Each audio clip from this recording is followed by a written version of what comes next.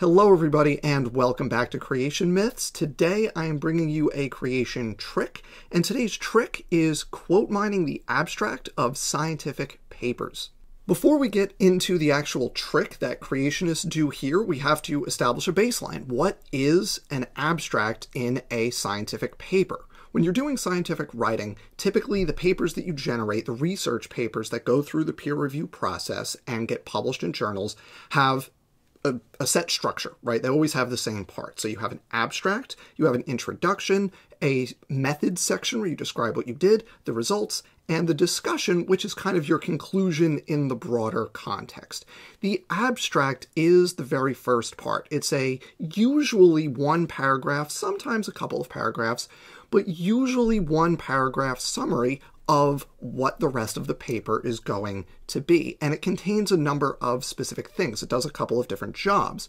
So you always find some kind of setup in an abstract. The setup is what's the problem that's being addressed or what's the question that we don't have an answer to that the paper that you're reading right now is going to try to answer.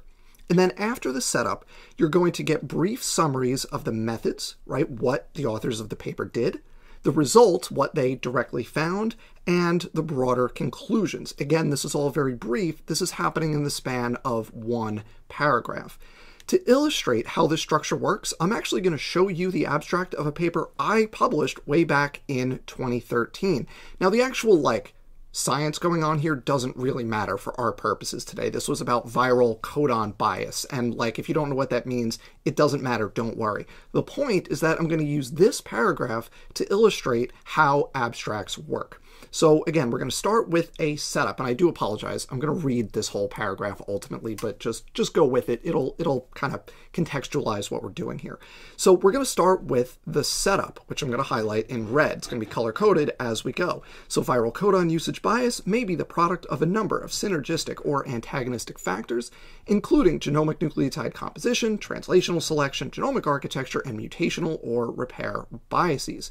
Most studies of viral codon bias evaluate evaluate only the relative importance of genomic base composition and translational selection, ignoring other possible factors. So that's the setup. Here are the things that could explain this thing. Most studies only consider a couple of factors and ignore the rest. So, what did we do? What were our methods? We analyzed the codon preferences of single stranded RNA viruses and single stranded DNA viruses, plant viruses, that infect translationally distinct monocot and dicot hosts. That's what we did. Very brief overview. Next, results. What did we find? We found that neither genomic base composition nor translational selection satisfactorily explain their codon usage biases. Furthermore, we observed a strong correlation between the codon preferences of viruses in the same family or genus, regardless of host or genomic nucleotide content. So that's what we found, and then let's put a bow on it. Let's wrap it up. What's the conclusion? Our results suggest that analyzing codon bias as either due to base composition or translational selection is a false dichotomy that obscures the role of other factors. Constraints such as genomic architecture and secondary structure can and do influence codon usage in plant viruses and likely in viruses of other hosts. So this is the structure of an abstract. You set up a problem, you very briefly describe what you did to address that problem, the direct results, and then the broader conclusions. You do this all in a single paragraph right at the top of your paper. This tells the reader what they're going to read about if they decide to read your whole paper. So that's the setup. That's what an abstract is and what an abstract does. So what's the trick that creationists use? Well, what they do is they take the here's the problem line, right? Like in my paper here, most studies of viral codon bias evaluate only A and B, but they ignore all these other factors, right? That's the setup line. That's the here's the problem, we're going to try to solve line, right? Creationists will take that line and they will present that as though it is the position held by or the argument being made by the authors of the paper, right? They just take that and say, look, these authors say that we don't look at anything beyond, in this example, base composition and translational selection. Evolutionists just ignore all these other factors, and look, these authors agree. That's how creationists would use this kind of thing. In order to do this, they have to ignore the rest of the abstract and the rest of the paper Because if you actually read the rest, that's where the authors are going to address the question or problem that they introduce in the first part of the abstract. So, in order to make the claim that the authors actually hold the position that you could kind of make it look like based on that early part of the abstract, in order to make it look like they hold that position, you have to just pretend the rest of the paper, starting with the rest of the abstract, doesn't exist. It's an extremely dishonest trick to do because it takes the authors basically stating the problem they're going to solve and it presents those authors as stating that the problem itself is an actual unsolved problem, right? And that's fundamentally dishonest. To illustrate this, I'm going to show you two specific examples that I've come upon of this specific thing recently. There are countless examples of this out there in the creationist literature. Go out and find your own. It's a fun game to play. Whenever you find a quote, see if uh, it seems like an abstract to you, and then go look up the paper and see if it actually is from an abstract. A lot of the times it is. But I'm only going to present two specific examples here. One is going to be from amateurs who may or may not know better. Uh, but the second is going to be from professionals who 100% know better than to just lift that first line from the abstract. We'll start with our first example, which comes to us from young Earth creationist YouTuber Standing for Truth. He recently put out a book called The Endogenous Retrovirus Handbook, and one of my Patreon supporters bought this book for me, so I am reading it. And I will do a review of it once I finish it. Uh, I'm recording this right now in um, on May 17th of 2022. So once I finish the book, I'll have a I'll do a review on YouTube. And thank you to the supporter who bought me the book. You know who you are for making me read this book. But anyway, so uh, on page 12 of this book, we get uh, an interesting claim. This book is all about endogenous retroviruses and how they don't actually support evolution. It doesn't matter for what we're talking about today. Uh, this is a small excerpt from page 12. We have a line right here where the author, SFT, uh, basically makes this argument. Say they have acknowledged, they being evolutionists, have acknowledged that for most of these ERV sequences, the infections would have occurred millions of years ago in the ancient and unobservable past. The argument that's being implied here is that ERV integration into the genome is assumed because it's not observed. It happened in the past, we can't observe it happening in the present. Right? That's the argument that's being made here. And to do this, he has this quote right here. He says, endogenous, and this is from a paper, endogenous retroviruses are proviral sequences that result from the colonization of the host germline by exogenous retroviruses. The majority of ERVs represent defective retroviral copies. However, for most ERVs, endogenization occurred millions of years ago, obscuring the stages by which ERVs become defective and the changes in both virus and host important to the process. Now, you could see just a little bit of pencil mark right there because I'm annotating this book as I go. And in the margin next to that, I wrote, bet that's the abstract. I went and looked up the paper, and it turns out that is, in fact, the abstract. And it's better than that. This is the beginning of the abstract. This line right here, that's the setup line that I just described previously. This is the state the problem line in the abstract. What we're going to do right now is put this line with the full abstract side by side. Is this an accurate representation of the author's actual position? Nope.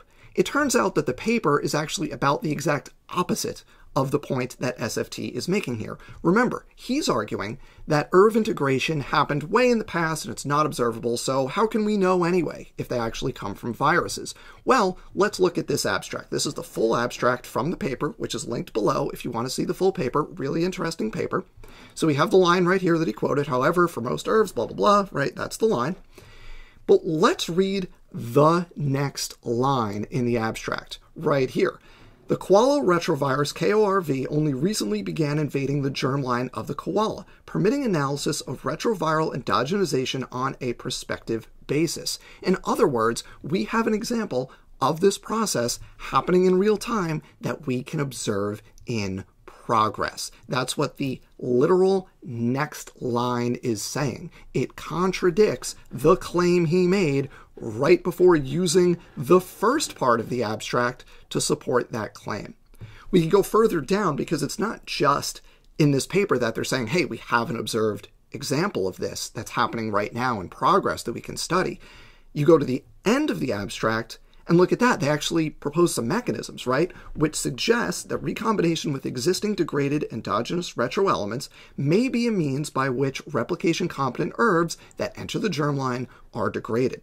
So the authors are not just saying, hey, this process is actually observable in the present. They're also proposing a mechanism through which viruses can become integrated as endogenous retroviruses, which is exactly the opposite of the point SFT wants to make and use this paper to support, right? It's actually doing the opposite. So that's one example of where you lift that first line from the abstract, even though the authors are actually making the opposite argument. Our second example comes from uh, the Dismantled documentary. This is a recent Young Earth documentary dismantling the theory of evolution. And this is the example where the guilty parties 100% know what they're doing. They know better than to think that that first line of an abstract is actually uh, representative of the argument the authors are making. So, um, in this documentary, uh, we have some actual trained scientists involved, right? Dr. Nathaniel Jeanson, Dr. John Sanford, Dr. Rob Carter. These are young Earth scientists with actual legit science credentials. Furthermore, this documentary was written by PhD candidate Christopher Rupe, soon to be Dr. Christopher Rupe. As somebody who's going through the process of earning a PhD, Christopher Rupe knows the structure of scientific papers 100% knows better than to think that that first line is something you can pluck out and present it as representative of the author's views.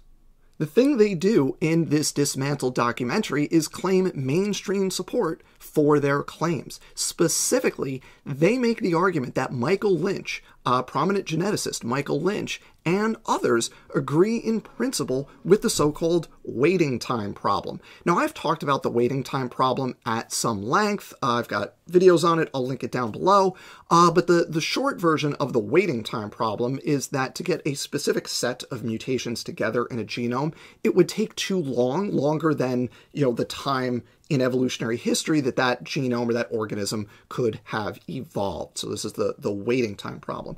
So um, the people behind this documentary, they take this um, uh, Lynch and Abegg 2010. It's the rate of establishment of complex adaptations. And they actually very helpfully highlight the first line of the abstract for us, right? That's that setup line that I've been talking about. So the setup line in this abstract is a central problem in evolutionary theory concerns the mechanisms by which adaptations requiring multiple mutations emerge in natural populations. That's actually a pretty concise summary of the waiting time problem. Yeah, how do we get adaptations that require multiple mutations? That probably takes a long time. How can we explain that? In this documentary, they pluck that line without further elaboration and say, look, geneticists agree with the waiting time problem, except there's a problem right here on this slide. This is a screen grab from a, a portion of this documentary that you can find on YouTube. Just search it dismantled on YouTube. I've also linked it down below. And this is what they show on screen. There's a problem here. The problem is that they show the full abstract. So you can read the rest of it if you pause the video. And if you read the rest of it, you can see that they actually show the conclusion down here that contradicts their claim of support. So at the end of the abstract, these authors write of their their results. Taken together, these results illustrate the plausibility of the relatively rapid emergence of specific complex adaptations by conventional population genetic mechanisms. In other words, they are saying, as the conclusion to their work here, right, the conclusion to this paper, the takeaway message, is exactly the opposite of what is being claimed in this dismantled documentary. It's just 180 degrees. It's complete opposite. Again, these are not like random people spouting off on YouTube. These are professional scientists who have earned or are in the process of earning legitimate scientific credentials. They know better than to do this. So, in summary, creationists frequently quote mine the setup line from scientific abstracts, present that line in isolation as representative of the author's actual position, and ignore the rest of the abstract or paper where the authors address the problem that's raised in the setup line. Some creationists who do this may not know any better, but some definitely do. This has been the creation trick of quote mining the abstract, specifically the setup line from the abstract, and then pretending that's representative of the findings of the entire paper. If you enjoyed this, please like, subscribe, comment, share. Thanks for watching, and don't get fooled.